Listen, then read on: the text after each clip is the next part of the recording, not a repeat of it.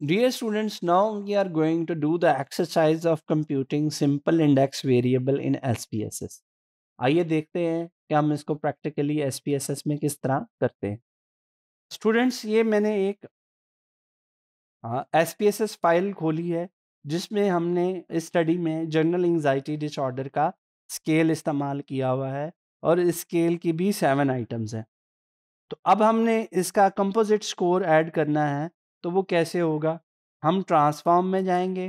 Transform में से compute variable की जो है ऑप्शन उस पर क्लिक करेंगे।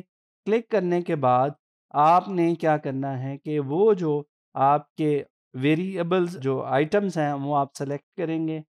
वन बाय वन और उनके दरमियान आप प्लस का साइन ऐड करेंगे।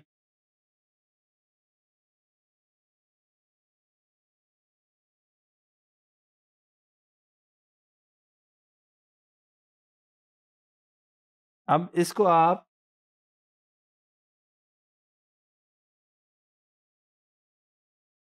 हम यहाँ पर इसका नेम लिख देते हैं C S G A D composite score of GAD इसको ओके okay करेंगे। तो आपके पास ये स्कोर एग्जीक्यूट होके आ जाएगा। हम देखते हैं। तो ये आपके पास एक कंपोजिट स्कोर ऐड होके आ गया। अब हम चाहते हैं कि हम इसी स्कोर को जो है स्टैंडर्डाइज कर लें। तो आप दोबारा जाएँगे ट्रांसफॉर्म में, वहाँ पे कंप्यूट वेरिएबल को क्लिक करेंगे और यहाँ पर आप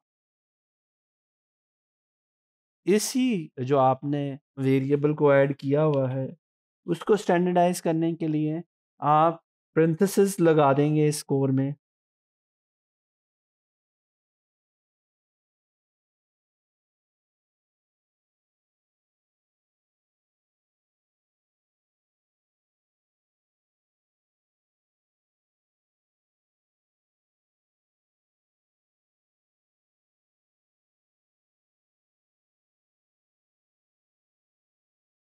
और इसको डिवाइड कर देंगे आप सेवन के साथ। क्योंकि सात आइटम्स है। अगर यहाँ पे पाँच आइटम्स होती तो हम इसको पाँच के साथ डिवाइड करते हैं उसकी एवरेज निकालने के लिए। ओके करेंगे। तो आपके पास आउटपुट व्यू में ये, वो कमांड आगे के ये आपका जो है जो आपने कमांड परफॉर्म किया वो एग्जीक्यूट हो गया और इसकी अगर आप जाकर देखेंगे तो आपके पास ये वैल्यू आ गई है स्टैंडर्डाइज ये आपकी सिंपल वैल्यू है, उसी स्केल की और ये स्टैंडर्डाइज वैल्यू है, या average value of of each respondent तो दोनों तरीक़ों से इसको इस्तेमाल किया जा सकता है, या आपके स्केल की मिथडोलॉजी और रिसर्चर की नेचर ऑफ़ स्टडी के ऊपर है कि वो इसको कैसे यूज़ करेगा।